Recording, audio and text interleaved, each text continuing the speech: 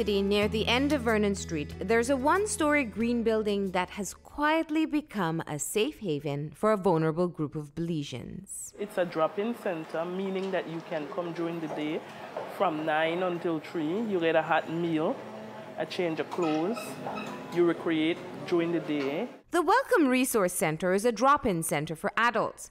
It's operated by the NGO, the Mental Health Association, and was created to provide a peaceful, accepting environment for the homeless, the elderly, and especially for people living with mental health problems.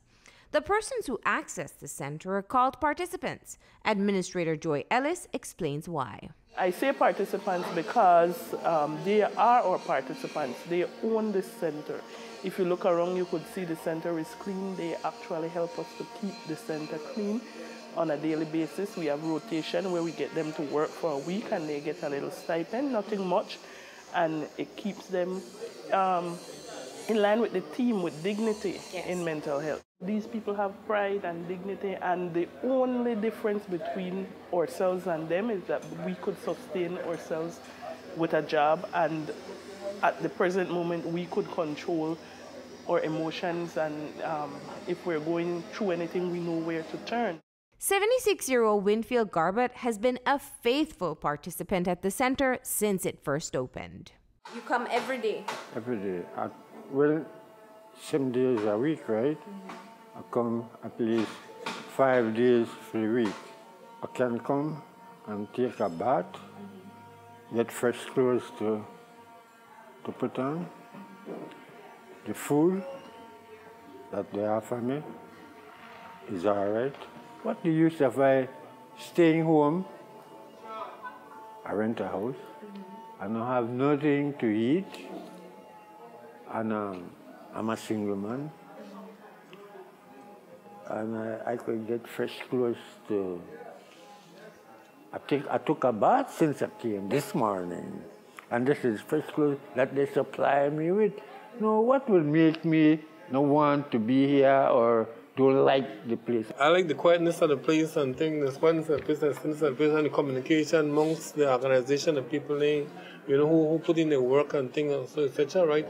And I don't find no fact, a bathe or shave up different things, just put things in my arm spray, lotion, mm-hmm. skin, comb the hair, different things like that, so etc you know, mm-hmm. keeping smell nice and things like that. You know, Stay clean. Up. Yeah. Oh, I love hair. Excellent. Yeah. What's your name? Linda Morgan. Linda. Morgan. How often you come here?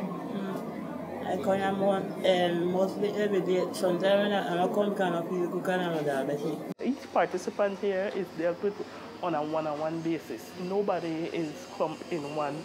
Although they came, they come under the mental health issue, but we don't deal with them as everybody.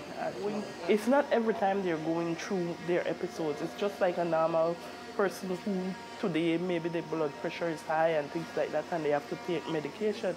But for our um, the participants, particularly at our center, we would know when they really need to take a visit to the psychiatric nurses, and we could call and make referrals.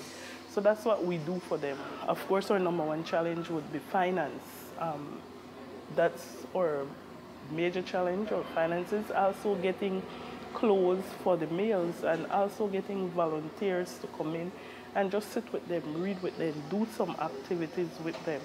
Um, like anybody else, they don't have a very long attention span, so you work with them on something for an hour to 45 minutes and then you leave them be. Erna Jones is a new volunteer at the center. She says she wasn't quite sure what to expect working with the participants, but she's been pleasantly surprised. I have a very good relationship with them. You know, I thought it was a place that okay, they might wouldn't pay me any mind, but more they are very serious of what they're doing, mm-hmm. and I have to be careful that I'm doing the right thing because they will keep me in check. What we have to do, and what I am trying to do, just be myself with them, mm-hmm. and you know, study what they're saying to you and things like that, and know how to answer, know how to talk to them, keep a level of voice that wouldn't, wouldn't get them irritated, yeah. and show a lot of love.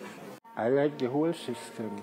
I not like, but I love the system, and I try to comply with with the rules and the regulations.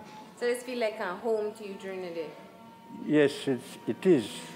For me, it is.